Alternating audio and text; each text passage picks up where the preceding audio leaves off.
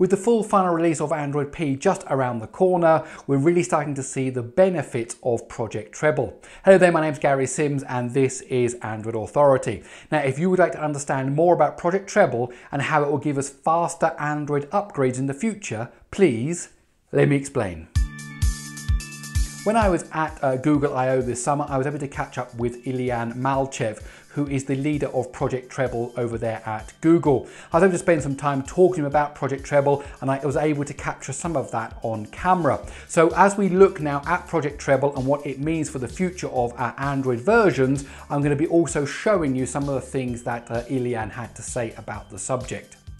Okay, so first of all, one of the biggest complaints that there is about Android is this version fragmentation, that you kind of get one phone is kind of running one version, then another phone is running an older version, and the OEMs don't seem to upgrade, particularly the major version numbers don't seem to come through, and if they do come through, it can be very slow, it's a very trickle down process, sometimes maybe taking a year or even more from when Google release a version of Android until it finally hits a handset. Now there are several different reasons why that process can be slow. Some of it is actually the fault of the carriers. However, there is also some technical issues that Project Treble aimed to solve. Let's listen to what Iliyan has to say. Great to see you. Do you want to tell me a little bit about Project Treble?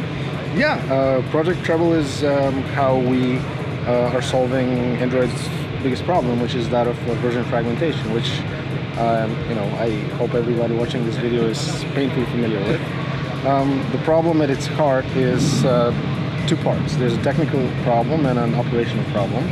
The technical problem is really because Android grew far too quickly um, and in its rapid growth, we, we, we didn't have time to design it so that its top piece is properly abstracted away from its bottom piece, with the bottom piece being that which is specific to the hardware oh, that Android yeah. is running on. Yeah. Um, and this is what we did. Um, we introduced um, upwards of uh, 60 interfaces um, that we introduced to the underbelly of the OS as we went along. Um, why that's important? It's because these interfaces enable us to develop the top piece of it independently from the bottom piece uh, and assign the bottom piece to the companies that properly own it, such as uh, Qualcomm, companies that make mobile CPUs, right? So as you can see with Project Treble, there's been a now a hard line drawn which separates the parts that Google work on, the framework and all that kind of stuff, and the parts that the OEMs and the uh, SoC manufacturers work on.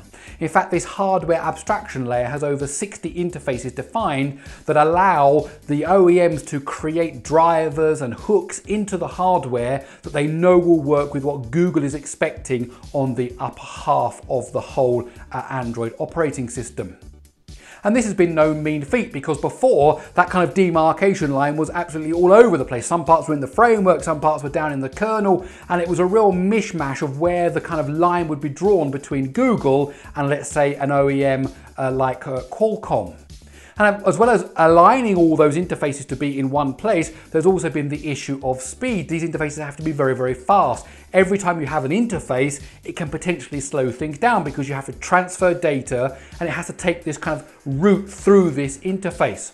Now these interfaces that they've designed are actually very, very fast so that when you're doing things like multimedia and there's cameras and video and sound, all that kind of stuff can flow through these interfaces with very, very little impact on the overall performance.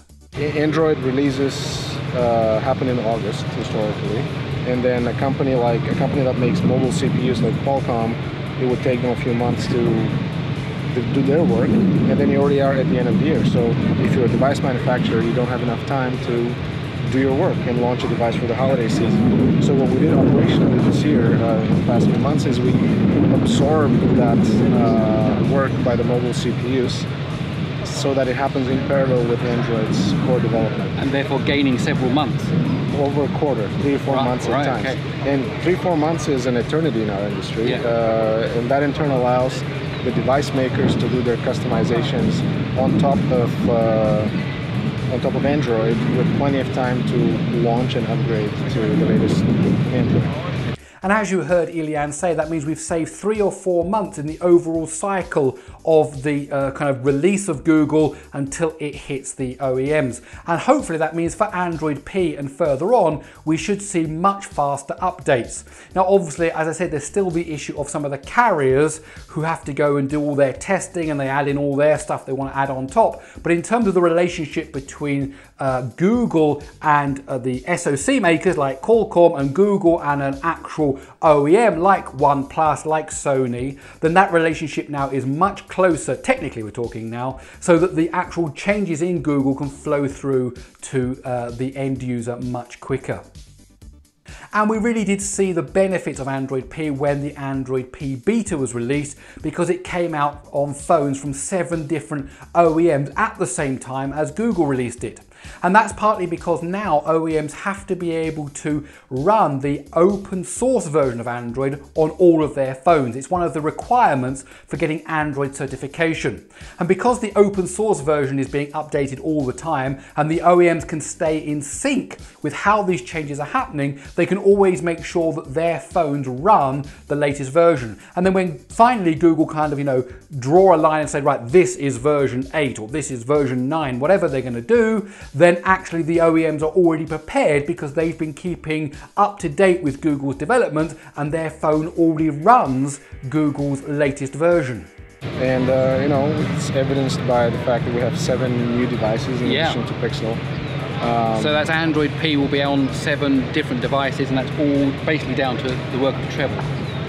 Yes, also the, the speed of, of the yes. and all the OEMs, of course. we won't say the OEMs didn't do anything, but the, the, the speed of, of that because it's coming out now on the Pixel, but also on all these other devices at the same time. Yes, I mean the entire Android uh, organization had to do a lot, a lot, a lot of work to make this happen, and you know I'm happy that finally the results are beginning to manifest themselves. And so there you have it, Project Treble. Now personally I'm really looking forward to seeing how this will impact the upgrades to our handsets. We should be seeing much more faster upgrades. We should see handsets released with the latest version of uh, Android on them rather than one from, you know, kind of a year ago. And I think this is a very, very positive step for the Android ecosystem.